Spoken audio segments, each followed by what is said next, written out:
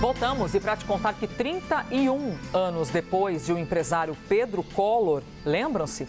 Abrir caminho para o impeachment do irmão, o então presidente Fernando Collor de Mello, a sua ex-mulher, Tereza Collor, se uniu ao ex-presidente e ex-cunhado na disputa eleitoral em Maceió. Pois é, é a apuração do analista Pedro Venceslau, que está no site da CNN Brasil. Vejam aí, os ex-desafetos saíram em carreata ontem pelas ruas da capital alagoana em busca de votos para eleger Fernando Lira Collor, filho, filho de Tereza e sobrinho de Fernando Collor, para tentar elegê-lo como vereador pelo partido que ele está candidatando que ele se candidata. Fernando Lira Collor concorre na chapa do deputado Rafael Brito, candidato do MDB à prefeitura de Maceió e aliado do senador Renan Calheiros.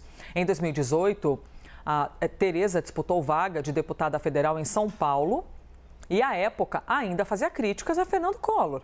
O ex-presidente e Tereza Collor foram procurados pela CNN, mas não se manifestaram até o momento. E aí a imagem que chama atenção. Não tem como, né, o Basília Rodrigues? Algumas cenas, para quem tem memória, chamam atenção.